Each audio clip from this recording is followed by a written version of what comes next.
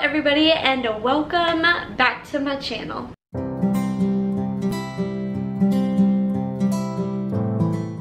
So I don't know about you, but for me, this time of year gets very busy. School just started back up again. I have ministry. Of course, I have family life and things off of, you know, social media and stuff like that. And life just gets so busy. And I tend to forget about one thing that is so important, and that is purpose. I've said many, many times on this channel that God has given us a purpose to glorify His will. And when we are pursuing purpose, you guys, life is so much more fulfilling. I just made a video on purpose. I will link it up in the cards if you want to watch more on that. I also have a free printable on my website that you guys can download and use to help find your purpose if you're still struggling to figure out what that is. But if you're still struggling to find purpose, the best thing to do is to start somewhere. And so for me, that is where planning comes in, you guys. If we don't know what we are supposed to be doing for our purpose or to be moving towards that direction, like I said, we're just walking around aimlessly. We don't know what we're doing. And sometimes we can get so caught up on the day-to-day -day that again, we tend to miss out on the big picture. So that is why I am sharing this video with you. I want you to set aside one hour today to plan with me, to take out time to write what's in your mind, to write out things that you want to do. Maybe it's short-term goals, long-term goals. At the end of the day, it doesn't really matter, you guys. It is so important to plan because without planning, there is no progress. There is no way that we can get to that end picture. So I encourage you guys to take out one hour with me today to plan. Maybe get into something cozy, light up a candle, make you a big old glass of tea, whatever it might be, you guys. This should be a fun experience. This is our futures, you guys. This is our purpose. This is what God is calling us to do. So I really encourage you. Also, if you don't have a planner, you can go ahead and click the top link in the description. I have a free planning printout page for you. Also, I got this little planner at Target for I think maybe like five bucks. It's just like a week in review. Um, and that's really the way I like to plan it. I like to plan two weeks in advance on my Google Calendar and one week in advance here. So that's what I'm going to be doing. I hope you guys um, take out an hour to plan with me today and let me know what you guys are planning for. For me, I'm going to be writing down my assignments for school because like I said, I am starting school again. I just had my first day on Monday and so I'll be writing down my assignments as well as some due dates for videos and posts like blog posts and freebies and things like that. Um, so i'm just going to be planning out that like i said one week on paper two weeks on google calendar. So if you guys want to do that with me let's go ahead and get into it. Light up your candles get into something comfy grab a glass of tea or coffee and let's start planning for an hour